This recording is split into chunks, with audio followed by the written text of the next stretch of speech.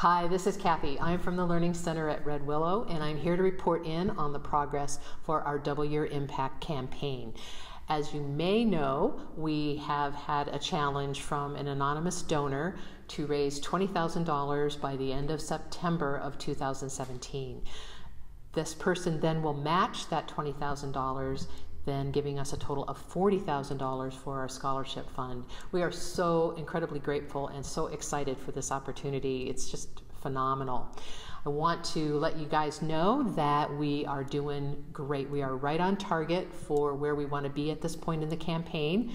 We are expecting to have $12,000 in the bank by the end of this week, which puts us right on track.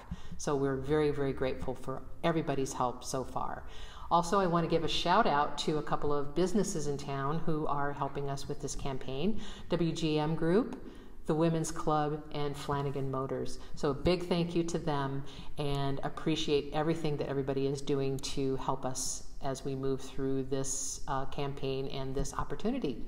So, I'll be checking in again with you next week, and I want to just say thank you one more time and over and out for now.